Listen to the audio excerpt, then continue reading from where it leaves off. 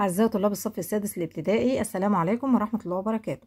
النهاردة إن شاء الله هنشرح أول درس مكرر علينا في اللغة العربية والدرس بعنوان مفتاح النجاح. في الدرس ده هناخد مجموعة عناصر آه لابد من توافرها حتى تعين الإنسان على النجاح في الحياة. تعالوا نقرأ الدرس بتاعنا النهاردة ونشوف العناصر دي عبارة عن إيه.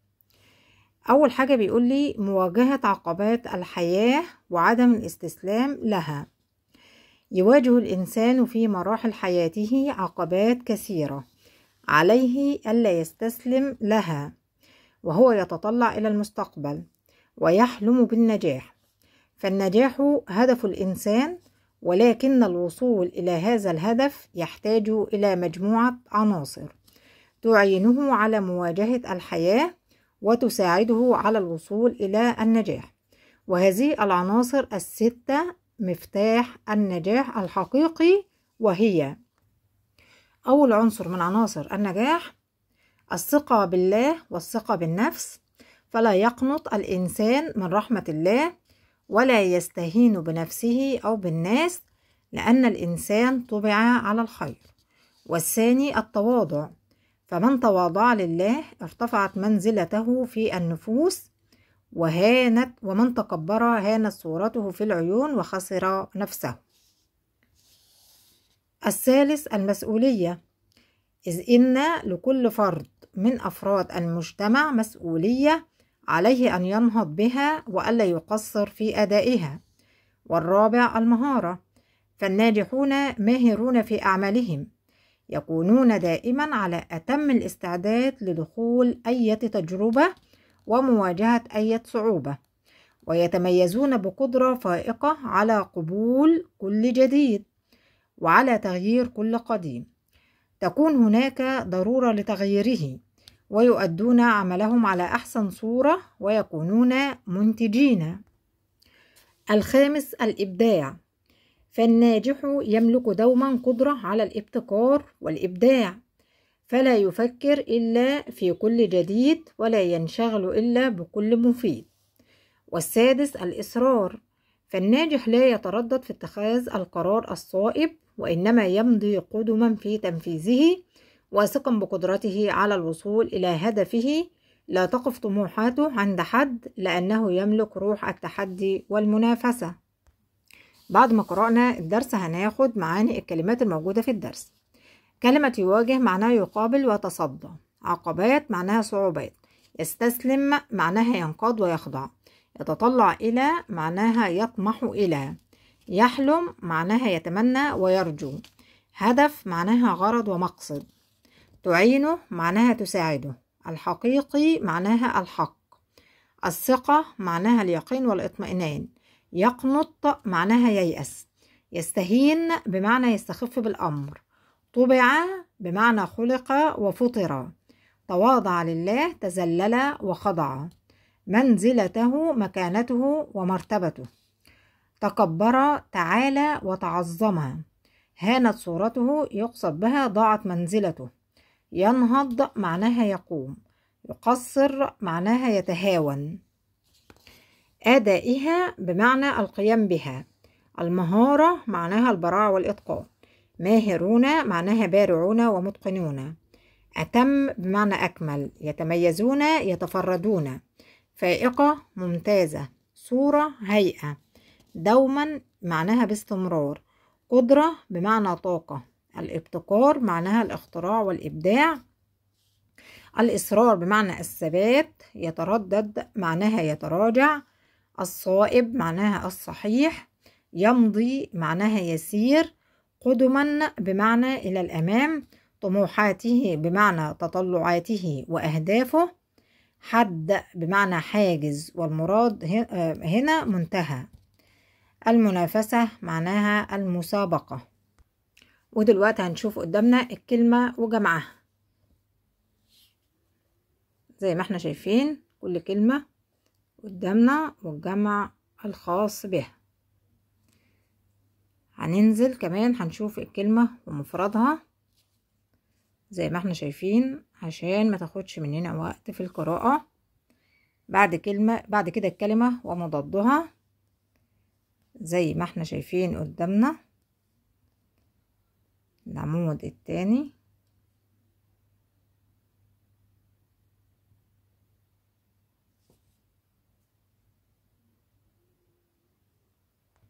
دلوقتي إحنا هنشرح درسنا النهارده في صورة سؤال وجواب. السؤال الأول بيقول لي ماذا يواجه الإنسان في حياته وكيف يتعامل معها؟ إحنا قلنا في الدرس إن الإنسان في حياته بيواجه عقبات وصعوبات كثيرة ويجب طبعا إن هو يتعامل معاها إزاي؟ إن هو ما يستسلمش ليها وهو بيتطلع إلى المستقبل ينبغي إن هو ما يستسلمش لهذه العقبات طيب ما هدف الإنسان في الحياة؟ كلنا عارفين إن هدف الإنسان في الحياة النجاح. وماذا يحتاج الإنسان للوصول إليه؟ عشان الإنسان ينجح ويصل إلى النجاح بيحتاج إيه؟ بيحتاج إلى مجموعة عناصر اللي إحنا بنسميها في الدرس عناصر النجاح. العناصر دي بتعين الإنسان وتساعده على مواجهة الحياة وصعوبات الحياة وبتساعده على الوصول إلى النجاح الحقيقي. على ما طبع الإنسان يعني الإنسان ربنا خلقه على إيه؟ الإنسان ربنا خلقه وطبعه على حب الخير.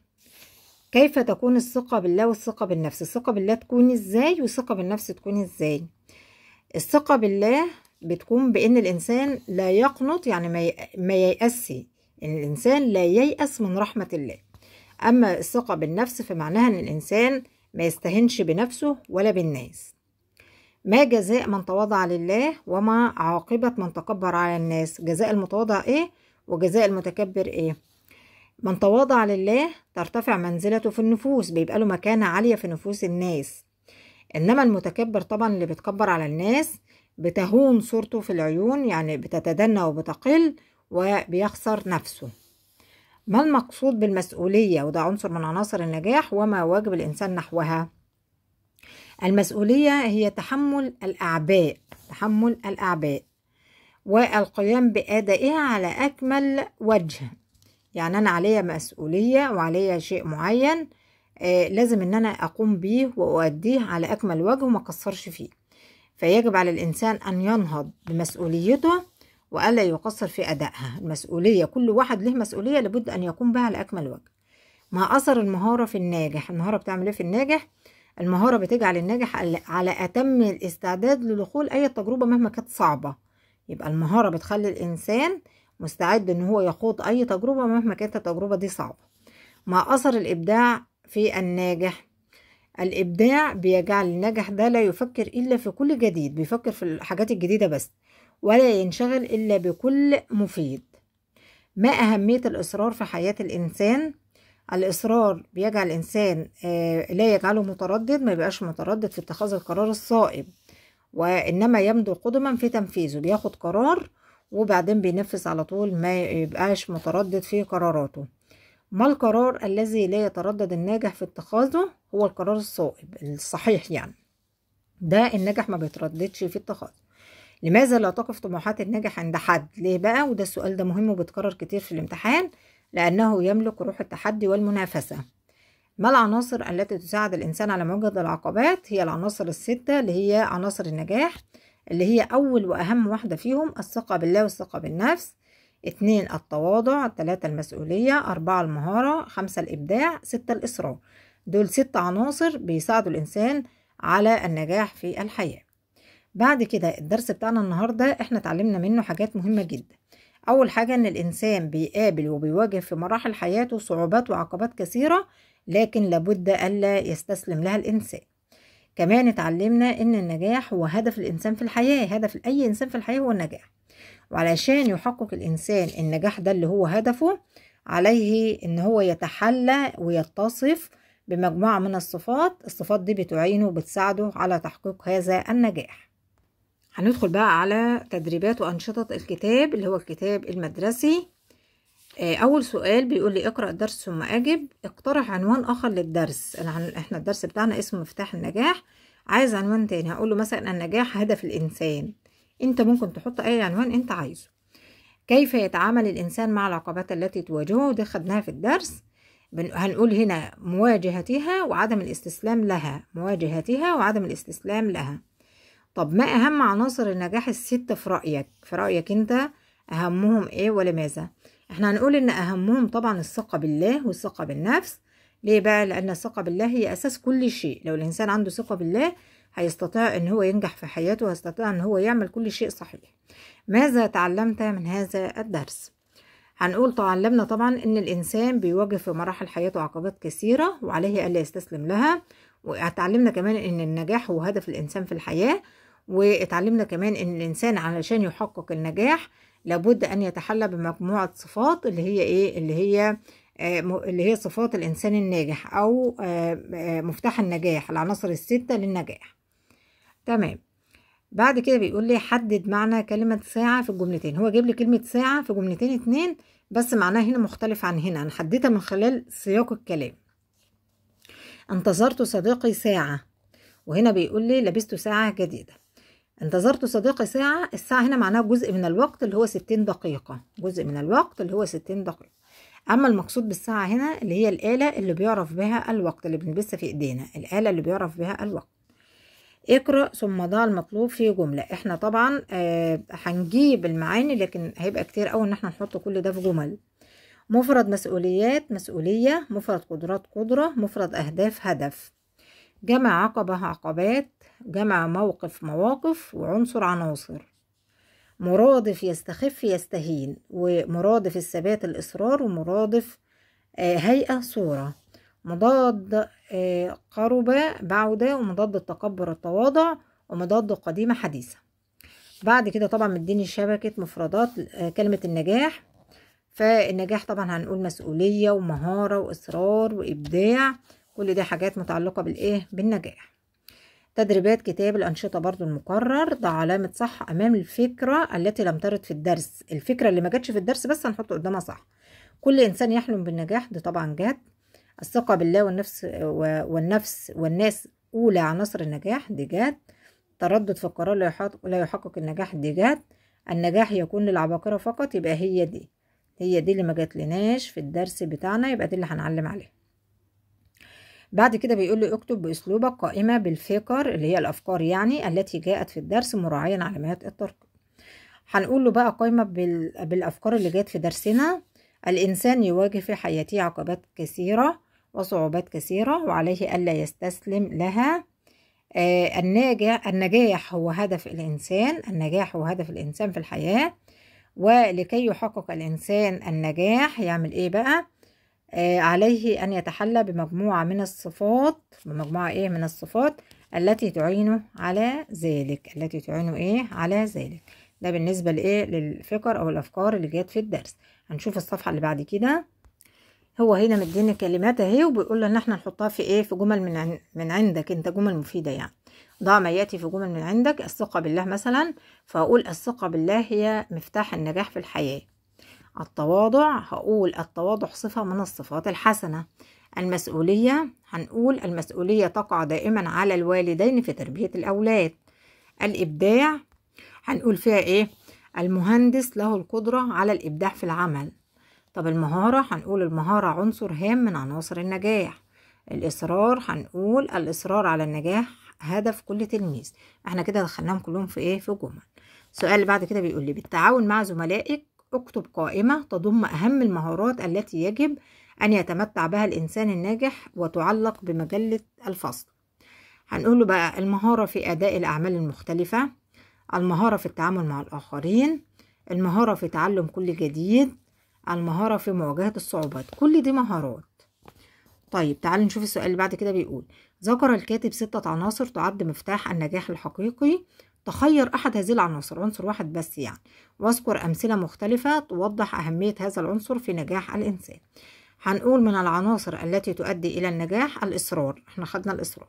فالناجح لا يتردد في اتخاذ القرار الصائب وإنما يمضي قدما في تنفيذه واثقا بقدرته على الوصول إلى هدفه كما أن الناجح لا تقف طموحاته عند حد لأنه يملك روح التحدي والمنافسة ويبذل قصارى جهده في عمله ويخلص فيه حتى يصل إلى غايته ويتغلب على كل الصعوبات. طيب في سؤال حلو ظريف قوي بقى كلمات زي كلمات متقاطعة كده. بيقول لي استخرج من الجدول كالمثال يعني هو مستخرج أول واحدة من مفاتيح النجاح ومعناه الثبات. آه طبعا من مفاتيح النجاح ومعناه الثبات اللي هو الإصرار وجايبها لي في أول واحدة. الإصرار. طب بعد كده طبعا مش هيبقى مرتب كده هيبقى فيه حروف زيادة. آه، من مفاتيح النجاح ومضاد التكبر مضاد التكبر يبقى التواضع. طب إحنا بقى هندور كده لغاية لما نلاقي كلمة التواضع. اهي. فين؟ اهي تحت اهي. التواضع اللي هي آخر حاجة تحت. آخر واحدة تحت التواضع. طيب بعد كده من مفاتيح النجاح ومعناه اليقين والاطمئنان اللي هي الثقة. الثقة أعتقد هي في الجنب دي. الثقة. اهي. العمود ده بتاع الثقة. طيب تمام. بعد كده بيقول لي آه، جمع عقبة. عقبات أهي عقبات اللي هو العمود دوت عقبات. طيب مفرد مفاتيح مفتاح. أهي العمود دوت. مفتاح العمود دوت هو كلمة مفتاح. آه، ابتكار واختراع إبداع. أهي قدامنا إبداع إبداع اللي هو العمود دوت. تمام. آه بعد كده إتقان وإجادة معناها مهارة. إتقان وإجادة يعني مهارة. ومهارة أهي. مهارة موجودة هنا. طب في النهاية يطلع معايا حروف أنا ما خدتهاش مش موجودة معايا. آه يعني هنا مثلا مش مديني كلمة كاملة. فأنا لو أنا خدت المس وبعدين خدت معاها وليا فهنا بيقول لي أدمج الحروف المتبقية بعد كل اللي أنا خدته في حروف متبقية. ادمجها مع بعضها فهتطلع لي في, ال- في النهاية خلص هتطلع لي اسم مفتاح آخر من مفاتيح النجاح وهيطلع هو المسؤولية. تمام؟ طيب تعالوا بقى ندخل على تدريبات وأنشطة سلاح التلميذ الكتاب الخارجي. آه تأكد من فهم من فهمك للدرس. ده علامة صح أو خطأ؟ لا يواجه الإنسان في مراحل حياته عقبات كثيرة. خطأ طبعا. آه يجب ألا يستسلم الإنسان للعقبات التي تواجهه صح؟ الوصول للنجاح يحتاج إلى مجموعة عناصر صح؟ الناجح لا يملك دوما القدرة على الابتكار والإبداع غلط.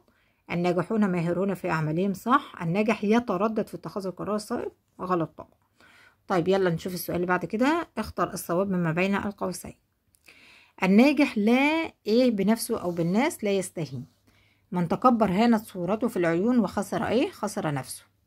الناجحون يتميزون بقدرة فائقة على قبول كل إيه؟ كل جديد. الناجح يثق بقدرته على الوصول إلى إيه؟ إلى هدفه بعد كده هنوصل اختر من العمود ألف ما يناسبه من العمود ب من تواضع لله إيه؟ ارتفعت منزلته في النفوس ارتفعت منزلته في النفوس لكل فرد من أفراد المجتمع مسؤولية إيه؟ عليه أن ينهض بها وألا يقصر فيها طيب الناجح لا يفكر إلا في كل جديد وإيه كمان ولا ينشغل إلا بكل مفيد الناجح لا تقف طموحاته عند حد ليه؟ لأنه يملك إيه؟ روح التحدي والمنافسة. هندخل على السؤال اللي بعديه. هات ما يأتي في جمل من عندك برضو هنجيب المعاني والمضاد وكله بس الجمل برضو هتبقى كتير. معنى عقبات صعوبات معنى يستسلم يخضع معنى يتطلع يطمح آه طبع معنى خلق مضاد يواجه يستسلم التواضع ضد التكبر الابتكار ضد التقليد والإصرار ضد التردد. بعد كده جمع كلمة أداء. أداء.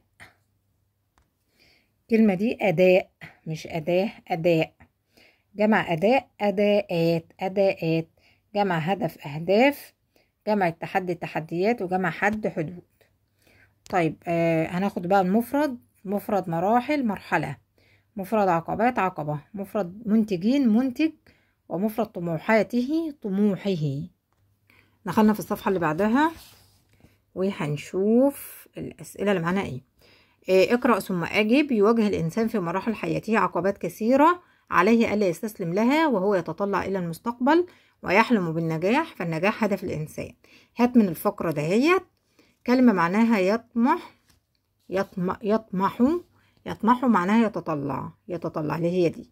إحنا بنطلعها من بنطلع الكلام ده من الفقرة كلمة مضادة للفشل النجاح اللي هو الكلمة دي.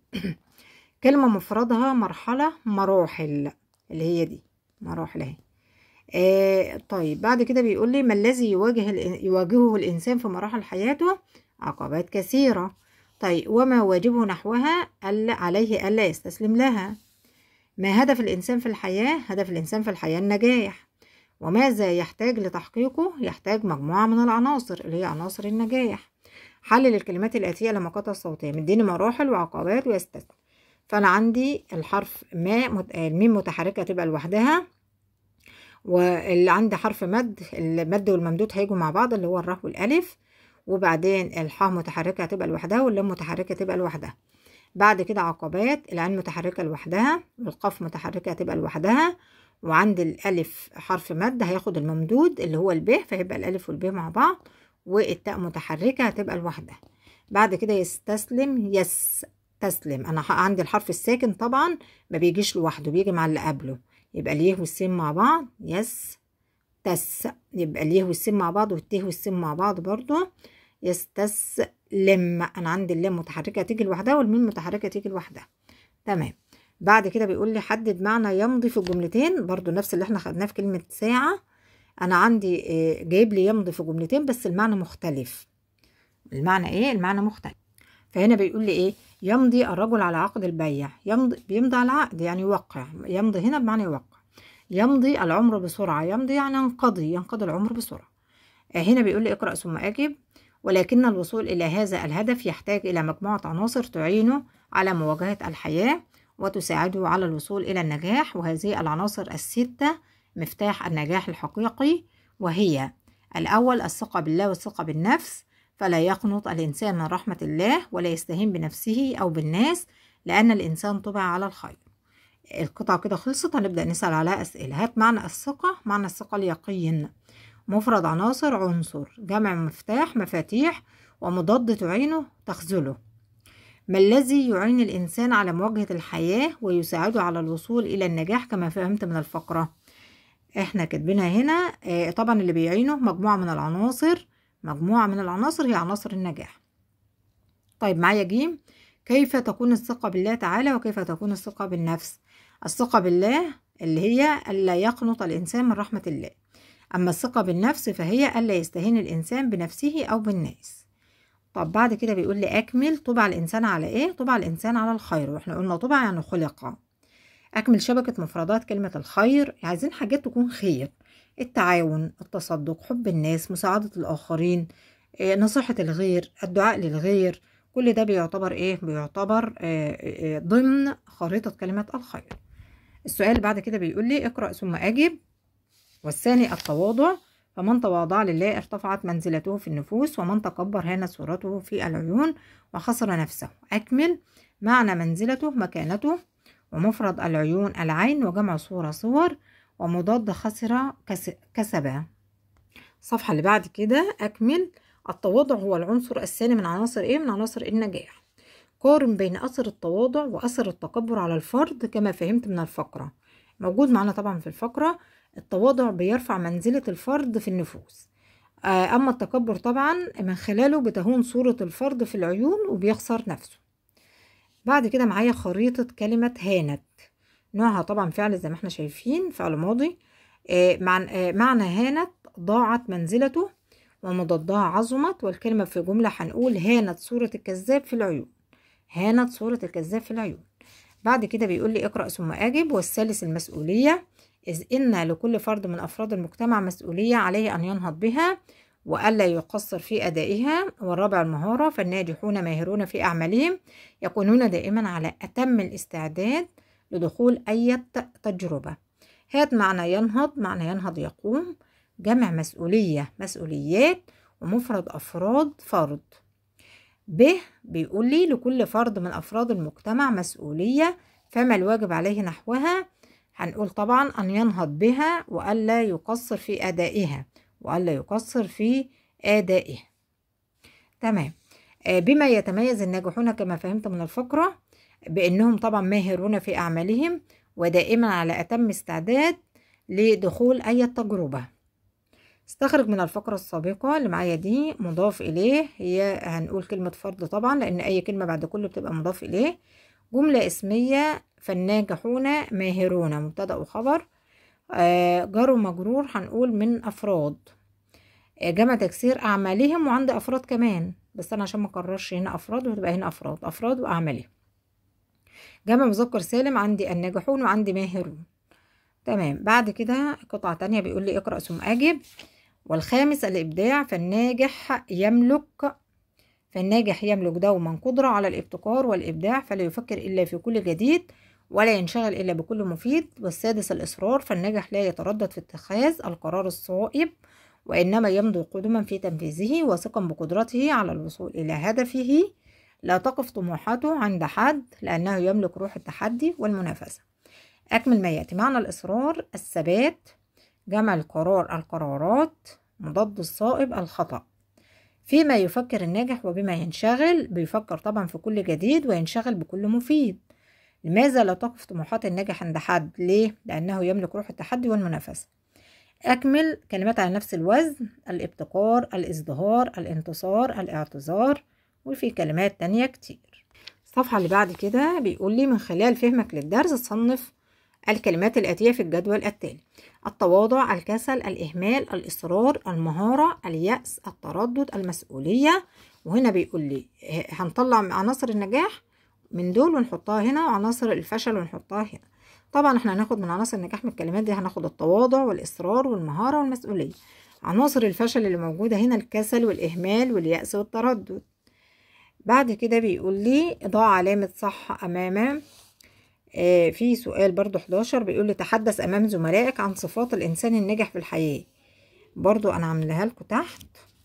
صفات الإنسان الناجح لا يتردد في اتخاذ القرار الصائب وإنما يمضي قدما في تنفيذه واثقا بقدرته على الوصول إلى هدفه كما أن الناجح لا تقف طموحاته عند حد لأنه يملك روح التحدي والمنافسة ويبذل قصارى جهده في عمله ويخلص فيه حتى يصل إلى غايته.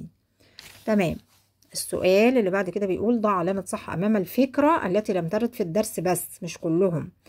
من تواضع ارتفعت منزلته في النفوس دي موجودة. الناجح يملك قدرة على الابتكار والإبداع دي موجودة. يحتاج الإنسان إلى الحظ لكي يصل للنجاح يبقى هي دي. دي مش موجودة في الدرس. بعد كده معايا الناجحون ماهرون في عملهم دي موجودة. يبقى أنا هاخد دي. جيم. دي هعلم قصتها صح. ضع مكان النقط علامات الترقيم المناسبة في كل جملة مما يأتي من تواضع لله ارتفعت منزلته في النفوس ومن تكبر بنحط هنا فاصلة ومن تكبر هنا صورته في العيون وخسر نفسه هنحط نقطة.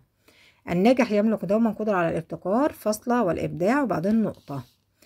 آه اكتب لافتة تضم عناصر النجاح وعلاقة في فصلك لافتة هنعمل بقى زي آه مستطيل كده وهنكتب فيها العناصر الستة اللي إحنا خدناها طيب آخر صفحة معايا اللي هي آه امتحانات أسئلة من الامتحانات في الأعوام السابقة على نفس الدرس ده. من موضوع مفتاح النجاح اقرأ ثم أجب. يواجه الإنسان في مراحل حياته عقبات كثيرة عليه ألا يستسلم لها وهو يتطلع إلى المستقبل ويحلم بالنجاح. فالنجاح, فالنجاح هدف الإنسان ولكن الوصول إلى هذا الهدف يحتاج إلى مجموعة عناصر تعينه على مواجهة الحياة وتساعده على الوصول إلى النجاح. هات معنى عقبات معناها صعوبات مضاد يستسلم يواجه جمع حياة حيوات. ما هدف الإنسان؟ هدف هدفه النجاح. وماذا يحتاج للوصول إلى هذا الهدف؟ يحتاج إلى مجموعة من العناصر هي عناصر النجاح. مدينا خريطة كلمة تعينه. تعينه طبعا فعل زي ما إحنا شايفين فعل مضارع. معنى تعينه تساعده مضادها تخذله ولو دخلناها في جملة هنقول يحتاج الإنسان عدة عناصر تعينه على النجاح. آه بعد كده من موضوع مفتاح النجاح اقرأ ثم أجب فالناجح لا يتردد في اتخاذ القرار الصائب وإنما يمضي قدما في, تح... في تنفيذه واثقا بقدرته على الوصول إلى هدفه لا تقف طموحاته عند حد. هات معنى الصائب الصحيح مضاد يتردد يصر جمع حد حدود. بما يتميز الإنسان الناجح في ضوء فهمك للفقرة لا يتردد بيتميز بإيه الإنسان الناجح؟ بأنه لا يتردد في اتخاذ القرار الصائب وإنما يمضي قدما في تنفيذه واثقا بقدرته على الوصول إلى هدفه لا تقف طموحاته عند حد. تمام كده. ليه بقى؟ لأنه لا لما ليه ليه طموحاته ما تقفش عند حد؟ ده السؤال اللي بعد كده. لما لا تقف طموحات الناجح عند حد؟ لأنه يملك روح التحدي والمنافسة والحتة دي بالذات أنا قلت مهمة ونركز عليها أوي. آه طيب معايا كده قطعة قراءة متحررة. أقرأ ثم أجب. متحررة يعني القطعة دي مش موجودة عندكم في الدروس. آه القراءة غذاء للروح وتثقيف للعقول وتنمية لمعارف الإنسان. ولكي تكون القراءة مفيدة يجب على القارئ أن يكون منتبها لما يقرأ. وقراءة الموضوع أكثر من مرة آه مفيدة. قراءة الموضوع أكثر من مرة مفيدة. واعلم أن القراءة وسيلة للتسلية وقضاء الوقت في شيء مفيد. تخير الإجابة الصحيحة مما بين قوسين. معنى مفيدة يعني نافعة. مفرد العقول العقل. جمع وسيلة وسائل. أكمل بكلمة مناسبة. هنطلعها برضو من القطعة دي. القراءة غذاء للإيه؟ غذاء للروح. أهي في الأول على طول. القراءة وسيلة لقضاء الوقت في إيه؟ في شيء مفيد. دي تحت خالص. في شيء مفيد. آه ماذا يجب على القارئ؟ آه لتكون القراءة مفيدة يجب أن يكون القارئ منتبها لما يقرأ وكمان قراءة الموضوع أكثر من مرة ده يعتبر شيء مفيد. قراءة الموضوع أكثر من مرة ده شيء مفيد. كده يبقى إحنا انتهينا من شرح الدرس بتاعنا النهارده اللي هو مفتاح النجاح. حلينا كل التدريبات الخاصة بيه. تابعوا معايا هناخد كل الدروس إن شاء الله هنشرحها ونحل تدريباتها. وكمان هنحل نماذج الامتحانات اللي في الملحق الصغير. ويا ريت لو عجبنا الفيديو ما ننساش نعمل لايك ونشترك في القناة الناس اللي مش مشتركة وتفعل الجرس عشان توصلها إشعارات بكل فيديوهاتنا الجديدة. وأشوفكم في فيديو آخر والسلام عليكم ورحمة الله وبركاته.